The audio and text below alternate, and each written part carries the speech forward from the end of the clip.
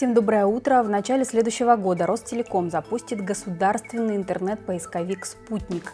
Располагаться он будет по адресу спутник.ру.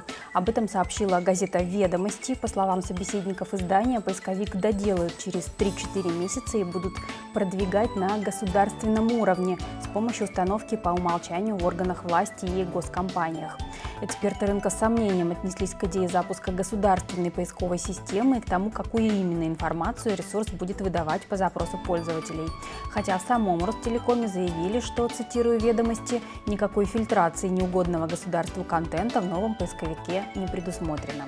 Участники рынка считают, что сильно беспокоиться о цензуре в любом случае нечего, спутнику догнать Яндекс и Google не удастся.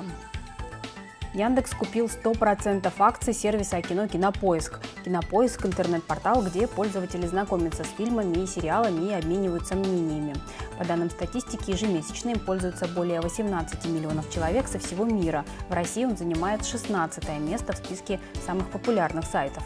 Яндекс написал, что Кинопоиск продолжит работать по своему обычному адресу кинопоиск.ру.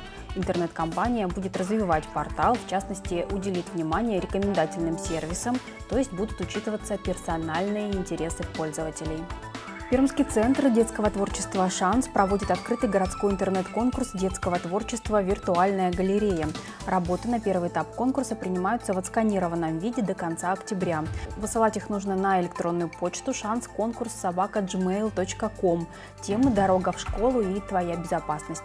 Номинации три: изобразительное творчество, компьютерный рисунок и декоративно-прикладное творчество. Результаты будут опубликованы в ноябре на сайте центра шанс.перм.ру. Это была интернет-пробежка. Хороших вам новостей и увидимся.